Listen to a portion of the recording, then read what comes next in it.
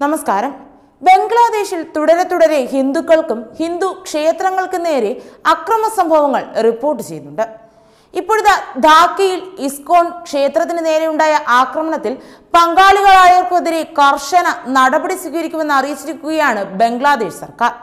കുറ്റവാളികൾ ഏത് മതത്തിൽപ്പെട്ടവരാണെങ്കിലും ഏറ്റവും മാതൃകാപരമായ രീതിയിൽ കർശന നടപടി സ്വീകരിക്കുമെന്നും ഷെയ്ഖ് ഹസീനയുടെ പേരിൽ സർക്കാർ പുറത്തുവിട്ട പ്രസ്താവനയിൽ പറയുന്നുണ്ട്.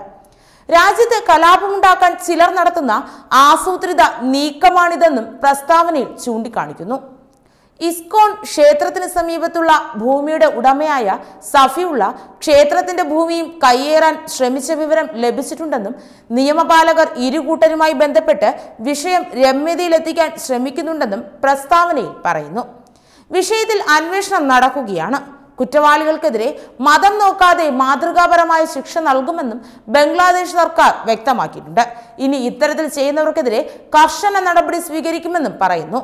ധാക്കയിൽ ഇസ്കോണിന്റെ കീഴിലുള്ള രാധേകാന്ത ക്ഷേത്രം ഇസ്ലാമിക തീവ്രവാദികൾ അടിച്ച് തകർക്കുകയായിരുന്നു.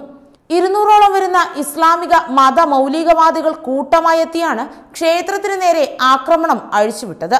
ക്ഷേത്രം തകർത്തതിനു പുറമെ ഇവിടെയുണ്ടായിരുന്ന വിലപിടിപ്പുള്ള വസ്തുക്കളെല്ലാം ഇവർ മോഷ്ടിക്കുകയും ചെയ്തു. സംഭവ സമയം ഇവിടെയുണ്ടായിരുന്ന ജീവനക്കാർക്കും ആക്രമണത്തിൽ പരിക്കേറ്റിട്ടുണ്ട്. ഹാജി സഫിയുള്ള എന്നയാളുടെ നേതൃത്വത്തിലായിരുന്നു ക്ഷേത്രം തകർത്തതെന്നാണ് റിപ്പോർട്ടുകൾ പറയുന്നത്. അതേസമയം ഇസ്ലാമിക മത മൗലികവാദികളുടെ ആക്രമണങ്ങൾക്ക് ഇരയായ ബംഗ്ലാദേശിലെ ഹിന്ദു കുടുംബങ്ങൾ ഇന്ത്യയുടെ സഹായം അഭ്യർത്ഥിച്ചിരുന്നു. ആക്രമിക്കപ്പെട്ട ഇസ്കോൺ രാധാകാന്ത ക്ഷേത്രത്തിലെ ജീവനക്കാരും കുടുംബാംഗങ്ങളുമാണ് ഇന്ത്യയുടെ സഹായം അഭ്യർത്ഥിച്ചത്. ബംഗ്ലാദേശ് സർക്കാർ പോലീസ് സംരക്ഷണം നൽകുന്നുണ്ടെങ്കിലും തങ്ങൾ ഇപ്പോഴും ഭയപ്പാടിലാണെന്ന് ISKCON medical officer Rasmani Keshavdas ഒരു വാർത്താ ഏജൻസിയോട് പറഞ്ഞു. ബംഗ്ലാദേശ് പ്രധാനമന്ത്രി ഷെയ്ഖ് ഹസീന സഹായങ്ങൾ വാഗ്ദാനം ചെയ്യുന്നുണ്ട്. എന്നാൽ ഇന്ത്യൻ പ്രധാനമന്ത്രി നരേന്ദ്രമോദിയുടെ ഇടപെടലിലാണ് തങ്ങൾക്ക് വിശ്വാസമെന്നും അദ്ദേഹം പറഞ്ഞു. ക്ഷേത്രം ഉപേക്ഷിച്ചു പോകാൻ ഹാജി ഷഫിയുള്ള എന്ന പുരോഹിതൻ വർഷങ്ങളായി തങ്ങളെ ഭീഷണിപ്പെടുത്തുകയാണെന്ന് കേശവദാസ് പറയുന്നു. കഴിഞ്ഞ രാത്രി ഇയാളുടെയും അനുയായി ഇഷ്റാഫ് സൂഫിയുടെ നേതൃത്വത്തിൽ അറുന്നൂറോളം വരുന്ന ആൾക്കാരാണ് ക്ഷേത്രം ആക്രമിച്ചതെന്നും ഇദ്ദേഹം പറയുന്നുണ്ട്. തടയാൻ ശ്രമിച്ചവരെ അക്രമികൾ ക്രൂരമായി മർദ്ദിച്ചുവെന്നും പോലീസ് അത് നോക്കി നിൽക്കുക മാത്രമാണ് ചെയ്തതെന്നും അദ്ദേഹം ആരോപിച്ചു.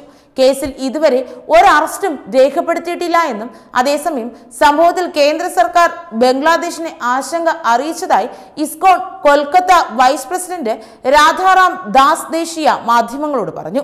വിഷയം കൃത്യമായി നിരീക്ഷിക്കാൻ കേന്ദ്ര സർക്കാർ ബംഗ്ലാദേശിലെ ഇന്ത്യൻ എംബസിയെ ചുമതലപ്പെടുത്തിയതായും അദ്ദേഹം അറിയിച്ചു. എന്തായാലും ബംഗ്ലാദേശിൽ തുടരെ തുടരെ ഇത്തരത്തിൽ ഹിന്ദു ക്ഷേത്രങ്ങൾക്ക് നേരെയും ഹിന്ദുക്കൾക്ക് നേരെയുമുള്ള അക്രമ സംഭവങ്ങൾ വർദ്ധിച്ചു വരികയാണ്. ഇക്കഴിഞ്ഞ ദുർഗാപൂജയിലും ഇത്തരത്തിലുള്ള സംഭവങ്ങൾ റിപ്പോർട്ട് ചെയ്തിരുന്നു.